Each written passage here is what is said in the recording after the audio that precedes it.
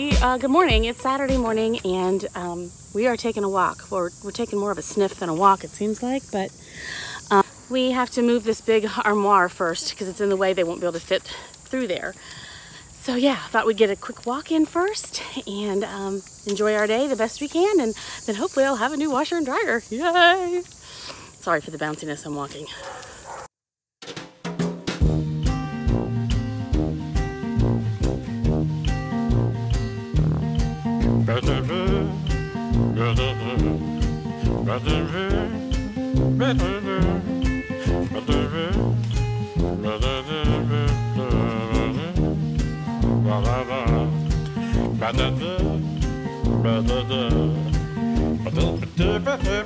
We've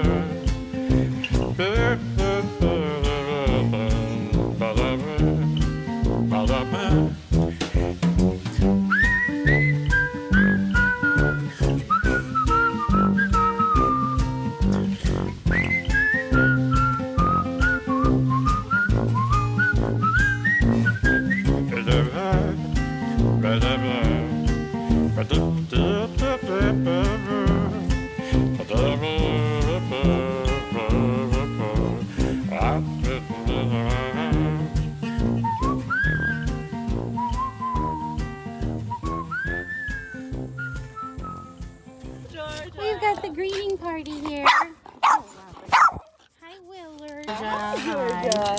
Gracie, what do you think of all that? Great. We got Willard, we've got Georgia, and we got Esperanza. Hi, what are you doing outside your stall? Is it closed? No, it's open. Look, my brat, your favorite, your best friend. Look, my brat. Oh, Georgia. Georgia girl.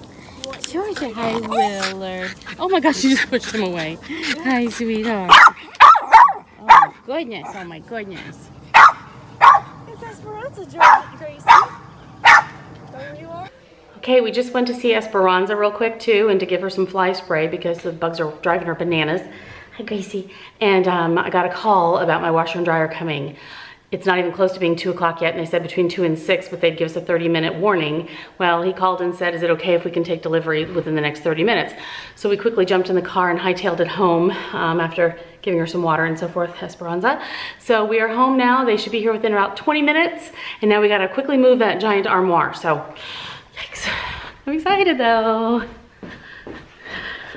Okay, this is the thing that we gotta move real quick because they have to be able to get through this little space to get to the washer and dryer area.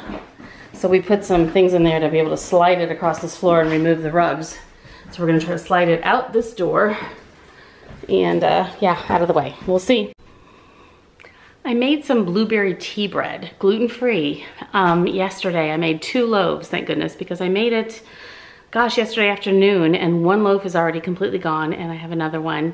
And I gotta tell you, this is amazing. So I'm gonna have to show you guys how to make this sometime, because it's so good. It's not the simplest recipe. It's not hard by any means, but you just use a lot of bowls and you know, you feel like your kitchen's destroyed when it's done, but it's worth it. So anyway, I'll show you the one that we have left still.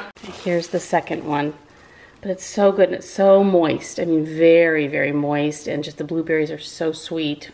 Oh my gosh, and it's got like a cinnamon sugar crumble on top. Amazingly good. It's not even like a gluten-free recipe. It's just uh, my regular recipe that I make with gluten-free flour. Okay. It's this. I buy it in bulk. This is the flour. It's called um, baking free. All-purpose flour, just cup for cup normally, like you would any flour from any of your normal recipes. And it turns out great, so yeah. That is good stuff. And now we wait. Excited.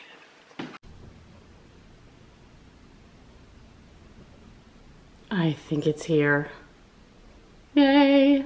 My washer and dryer. How exciting. Okay, here it is. My washer and dryer are in there. I'm extremely excited. They're enormous, so they've taken up a little bit more space, so we're working on figuring all that out. But here's the general thing. It's not completely finished decor-wise and so forth, but here is the general deal of the new laundry room situation. So here we go. Okay, that's the kitchen. First of all, I want to explain that in my kitchen I have black, I have this off-white, and I have browns. Um, it's just how my kitchen has been designed, so we have all of those in there. So we decided to try to incorporate that in this. So let me get the light to come back on again. Okay, so the cabinets were that brown color. I'll try to find some before pictures here. But we decided to do the bottoms black and the tops that off-white color. At first we thought that would look really weird, but, and then with the browns too, because we have the browns. So it's kind of a similar, similar idea to what we have going on in the kitchen. Um, I like it. At first I thought it would be weird, but I personally like it. Got these rugs, um, just to kind of protect and so forth. Gracie's bowl of water and food bowl right there at the moment. That door just goes out to the patio. We never use it, like ever. This is storage and um, I've cleaned all that out and it's all nice. Like I have my candle supply and things like that in here. Um, yeah, just good stuff. So it's fun. Just make sure I've got everything organized nicely. Some extra, extra things in there. Cleaned out all the drawers. But basically this is that area. And I do want to, see it goes all the way up. I do want to get maybe something to put up there on the wall. I'm not sure what, it's not necessary, but there it is. And that's just like a wood beam that goes across and goes all the way through into the kitchen and across the kitchen too. So there's that area. So on that, we keep our printer and um, extra printer paper and so forth in here. So everything we need for printing is right there, the ink and the paper and everything. So it's kind of centrally located and easy. And then those just have things in them, and that's the puppy cabinet with all the different foods and toys and leashes and whatnot. Yeah, so there's that section.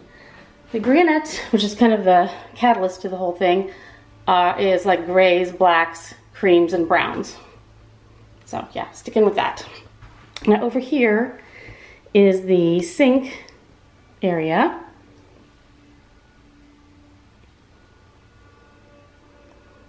And again, this has just been reorganized, you know, making sure we've got all of our cleaners and so forth is all there. You know, extra stuff, whatever. In the sink, paper towel, soap, candle. Got a garbage thing under here, trash can, just extra storage. And this is the best thing ever, this battery organizer. So you always know you have batteries and which ones you've got. Love that thing. Okay, so there's that. That's the, like I said, the door to the patio. And then we got this back in, lovely. In here I have some extra appliances like crock pots and things, plus um, like extra toilet paper and tissues and uh, paper towel and all paper product kind of things. That's what I have in there. I'm gonna organize it better inside. It's kind of a mess right now. And I put another rug here. Since this is such a, like a, want to say not shallow, narrow place. Didn't know what this would look like, but there really nothing, it was nothing else that would fit very well and still kind of cover. So I did these, my little runways. And then there's this section here. So we have these cabinets. And then my washer and dryer, which are enormous. I'm so excited about it. Like I can wash my king size comforters and things in there easily. Still learning how to get those to use. We also need to go to Home Depot today and pick up this, this thing that we need to connect the steam for the dryer. I went with a top load. Um, I just really like top loads better. I don't like to deal with having to leave that door open and the, the funk that you get, the, the wetness accumulates in that dip of whatever. So I just, I really like top loaders. Wanted to go back to, you know, make sure I had that again. Not go back to, I've never had the other, but I've he heard so many people just hate the whole deal, so I didn't want to deal with it. Gigantic dryer. So yeah, and it's got the steam function. I'm really excited about that. And it has a rack that you can install across there um, for like tennis shoes and things so it can dry the tennis shoes without them going bing bang boom bum bum. And this is the extra refrigerator for just extra drinks and extra, you know, things for when we're having people over or whatever. And freezer. This is a closet where we keep our VacuFlo and a couple other random cleaning things. Here in this little crevice, between the armoire and the closet, I keep my Dyson sucker upper and little vacuum stick thing. Easy grab, which is nice. Don't have to do the VacuFlo every time I want to grab just a little bit off the floor. Our Amsterdam picture. and then these shelves, we have this section back here that was just kind of not being used for anything. And I have appliances I don't use very often, like the deep fryer. It takes up so much space. And my juicer can be right here, which just comes with these other things. And behind there I have empty boxes for when I send things for Poshmark or whatever like that. And I haven't decided what to do with the top and the bottom yet, but I'm gonna make that more attractive, but at least we've got those shelves in there now, which is nice. So, that's the deal.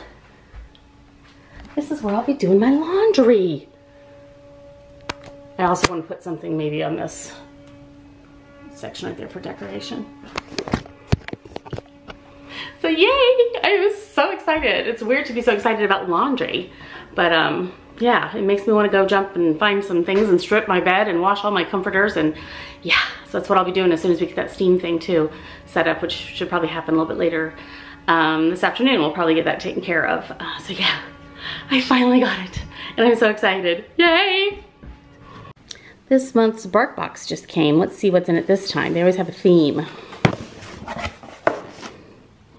Okay. Cute, cute. Looks like bugs or something. Secrets of the Rainforest. Rainforest. Cute. Oh gosh. They must have a blast coming up with these themes. Bark of the Wild. Pork and vegetable blend, soft and chewy. Treats. Bark of the Wild Chicken Blend, soft and chewy treats. Oh, this is interesting. Oh my gosh, it looks like a frog. You see that? Dozers. Gluten-free dental health. It looks like a toad or a frog. Oh my gosh. It's like a hollow chewer thing. Oh dear, we have a sloth. oh my god, it's a sloth with crinkly arms. Oh, it's got, got a squeak. Oh my god, it's a sloth.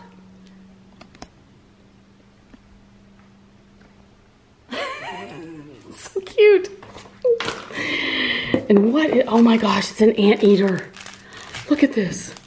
It's an anteater who's eating an ant. Oh my, a red ant. Oh my gosh. Crinkle tail. this guy has a squeak too. Anita the anteater. and what's the sloth's name? Let's find out. Three-toed Monty.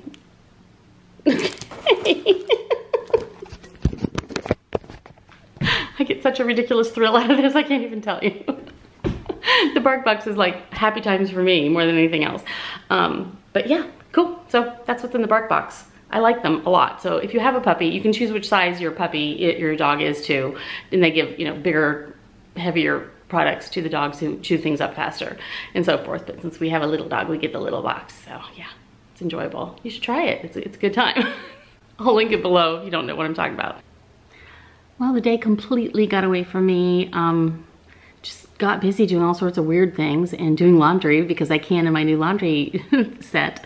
So um, that's all there really is to the day. I made some dinner and we just ate and watched a TV show while we were eating. Sounded fun. And I just did all the dishes and sitting down at my desk checking emails and, you know, thought I'd say goodbye. And I want you guys to have a nice day. Thanks so much for joining me. Bye.